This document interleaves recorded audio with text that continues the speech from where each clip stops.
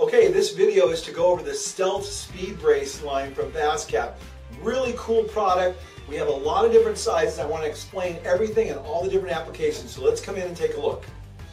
Okay, so first of all, we have our 12 inch speed brace right here in black. This is our most popular one. This is the first one we came up with. Basically, you screw it down to your pony wall right there. This section cantilevers out, supports the countertop. We now have it available in white and in gray.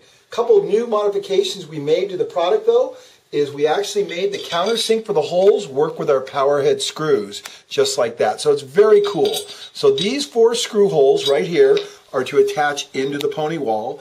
These right here, if you have a sub countertop, a piece of plywood going over the top, would allow you to attach onto here. But normally, all you need to do is put a little silicone on here, drop your granite countertop on top, and everything is good to go. This is our 12 inch speed brace, three different colors.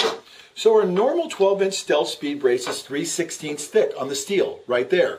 But some people have said to us, hey, you know what, Paul, I want a full quarter inch thick. I want it to be heavier duty. So we made a stealth HD in quarter inch steel. Now, this is exactly the same stealth speed brace as our original one, just thicker plate steel.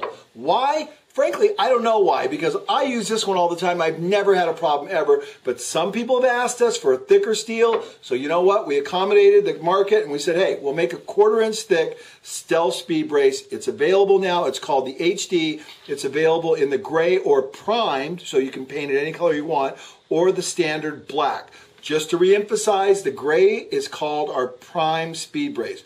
Normal stealth, HD stealth, 12 inch, 300 pound capacity, well, 400 plus, let's say. These things have the capacity to hold a lot of weight. If you've seen the video of me standing on the countertop and jumping off, you'll know these things are there to stay.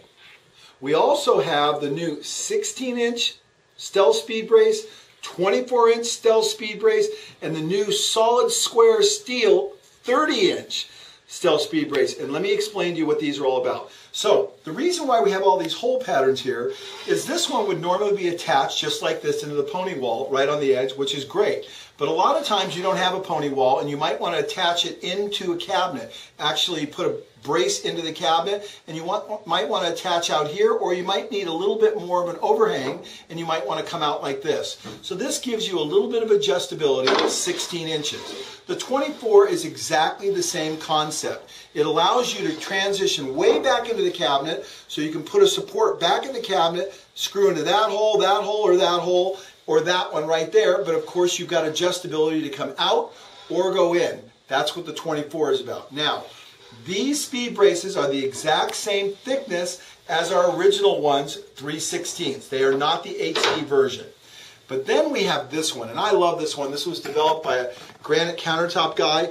Basically what this is, is a solid piece of 3 quarter inch steel that allows you to go into the cabinet. So what you would do is if I was to put this into the cabinet like this, I would screw these screws into the cabinet onto the side or the side panel of the cabinet, leaving this part overhanging. And if I had a substrate, I could screw in from here and here. The cool thing is we've countersunk the holes on both sides. So we'll go on the left panel or the right panel. This is great for granite countertop installation when you have no interior supports on the top of the cabinet so it can be screwed to the side wall of the cabinet. This is the new 30 inch solid steel Stealth Speed Brace. So there's an overview of the Stealth Speed Brace line. Let us know if there's anything we're missing and I'm sure we'll come out with it. Thanks a lot.